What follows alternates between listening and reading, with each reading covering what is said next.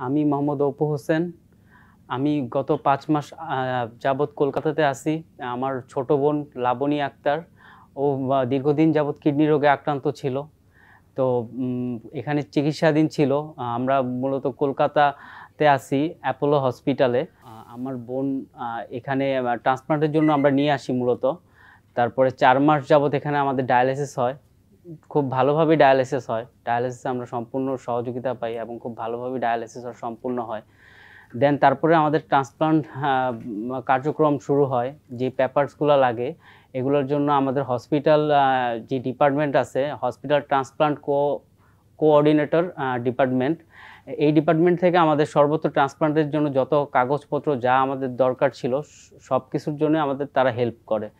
এবং আমাদের কাগজপত্র হয়ে যাওয়ার পরে আমরা স্বাস্থ্য ভবন থেকে এনওসি পাই। দেন আমাদের ট্রান্সপ্লান্ট কার্যক্রম শুরু হয়।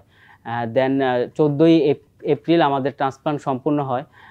ডক্টর আমাদের যে নেফ্রোলজিস্ট ছিল doctor M K Jain Manish Kumar Jain এবং আমাদের সার্জন ছিল ডক্টর বিনয় মাহেন্দ্রা ওনাদের আন্ডারে আমাদের ট্রান্সপ্লান্টটা হয় এবং খুব সুন্দরভাবে, ভালোভাবে সাকসেসফুলি আমাদের ট্রান্সপ্লান্টটা হয় এবং আমার পেশেন্ট এখন পর্যন্ত খুবই সুস্থ আছে। এবং আমরা হসপিটালের কর্তৃপক্ষ এবং হসপিটাল ট্রান্সপ্লান্ট কোঅর্ডিনেটর কর্তৃপক্ষ যারা আছে তাদের কাছ থেকে সম্পূর্ণরূপে অনেক হেল্প পাই। তারপরে আইপিএসে যারা আছে তারা আমাদেরকে অনেক হেল্প করে। দেন আমরা ট্রান্সপ্লান্টটা করাইতে পারি এবং খুব ভালোভাবে আমাদের ট্রান্সপ্লান্টটা সম্পন্ন হয়। আমার বোন লাবণী আক্তার এখন সম্পূর্ণরূপে সুস্থ। ওর সব কিছু এখন খুব ভালো আছে। নিজেই সব কিছু করতে পারে হসপিটালে আসে চিকিৎসা নিচ্ছে। তো আমাদের যে- ডক্টররা ছিল, তারা আমাদেরকে মানে সব দিক দিয়ে চিকিৎসা এবং পরামর্শ সব কিছু দিয়েই অনেক হেল্প করে।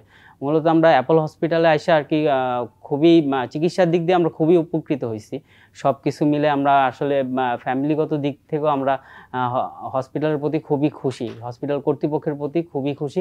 কজ তাদের আহ, মাধ্যমেই তাদের মাধ্যমেই আমাদের অপারেশনটা হয় এবং খুব সাকসেসফুলি হয় এবং এখন পর্যন্ত আমার পেশেন্ট খুব ভালো আছে।